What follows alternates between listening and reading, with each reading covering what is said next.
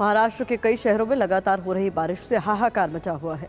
कई इलाकों में बारिश के पानी भर जाने से लोगों को भारी दिक्कतों का सामना करना पड़ रहा है। पहाड़ों से लेकर मैदानी इलाकों तक भारी बारिश ने कहर मचा रखा है। मुंबई समेत महाराष्ट्र के कई इलाकों में मौसम विभाग ने आज फिर भारी बारिश का अलर्ट जारी किया है। ये तस्वीरें हैं ठाणे की भिवंडी की, जहाँ भारी बारिश से लोग बेहाल हैं। लगातार हो रही बारिश ने लोगों का जीना मुहाल कर दिया है। बारिश का पानी जगह जगह भर जाने से लोगों को भारी परेशानियों का सामना करना पड़ रहा है। तस्वीरें तीन बत्ती सब्ज़ी मार्केट की हैं, जहाँ कार टेंपो सब बारिश के पानी में डूबा हुआ है।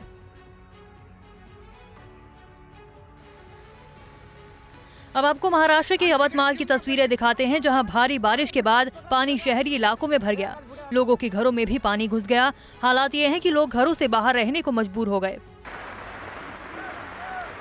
वहीं बुल्ढाना में लगातार हो रही भारी बारिश से पूरा इलाका जलमग्न हो गया। नदियों का पानी शहर में घुस गया। कई घरों की पहली मंजिल पानी में डूब गई। वहीं मुंबई में भारी बारिश के चलते अंधेरी सबवे को बंद करना पड़ा। देखिए ग्राउंड ज़ीरो से हमारे संवाददाता गोविंद ठाकुर की ये रिपोर्ट।